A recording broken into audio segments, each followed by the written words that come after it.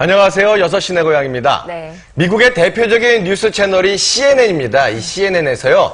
서울의 대표적인 길거리 음식들을 어떻게 하면 맛있게 먹는지 뭐 이런 것들을 소개해서 화제입니다. 아. 김밥, 순대, 음. 떡볶이, 호떡을 어떻게 먹어야만 맛있는지 네. 또 어떤 맛인지를 아주 자세하게 소개를 했다고 합니다. 저희는 이미 아니까 그렇죠. 이름만 들어도 떡볶이 순대 이름만 들어도 막 군침이 도는데 외국인들도 아마 먹어보면 반할 것 같다는 놀라죠. 생각이 듭니다. 우리 전통 음식뿐만 아니라 이 대표 간식 먹으러 더 많은 외국인들이 우리나라를 찾아오면 좋겠다는 생각도 해봅니다. 그렇습니다. 네. 아마 외국인이 이걸 봐도 깜짝 놀랄 겁니다. 이게 어떤 걸까요? 네. 자, 제주입니다. 정보름 리포터. 네, 그렇습니다. 깃털을 입은 듯 허수아비를 보는 듯 상상력과 호기심을 자극하는 제주의 명물 우장. 지금 확인하시죠? 네. 제주의 오랜 풍경. 이것이 바로 제주의 전통 비옷 우장입니다. 우장 속에 녹아있는 삶의 이야기. 지금 시작합니다. 서귀포시 표선면 토산리. 이곳에 아주 특별한 분이 계신데요. 아버님 우장 만드는 할아버지 댁 맞아요? 맞아요, 맞아. 아 지금 네. 뭐 하고 계시는 거예요? 이거 목지에 두드리는 거예요. 오, 왜 두드려야 되는데요? 새끼를 꼴라고 하면 이렇게 해야지. 물에 불린 억새는 두드리면 얇은 가닥으로 분리되는데요. 억새 가닥으로 새끼줄을 꼬는 것이 우장 만들기의 처음입니다. 볏집이 흔하지 않은 제주에서는 비바람에 강한 억새로 새끼줄을 꼬는데요. 우장 한 벌을 만들기 위해서는 새끼줄 400m가 필요합니다. 우와. 아버지, 어, 근데 이거는 뭐예요? 머리카락 같기도 하고. 말, 말꼬리요, 말꼬리. 말꼬리. 아 말꼬리요. 제주의 우장에만 쓰이는 재료 말총까지 준비가 됐습니다. 정말 그럼 이제 제주답네요. 우장을 만들 수 있겠네요?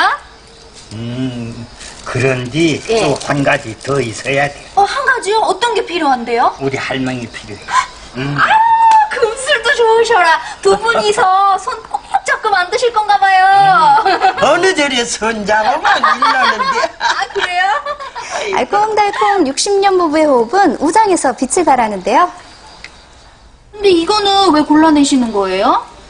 그 곤란해버려서 이거 예. 새가 부드러워 예, 새가 부드러워 그닝에 해영 그 우장을 만들면 예, 썽, 예. 썽 해도 그 예.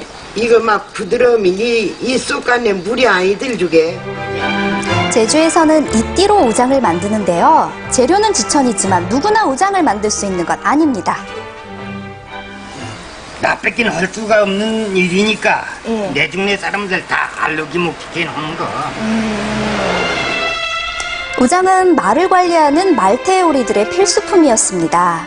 들판에서 지내는 날이 많았던 말태오리들에게 우장은 비와 바람은 물론 추위도 막아주었는데요. 하지만 말태오리가 사라지고 우장도 과거에 머물러 있습니다.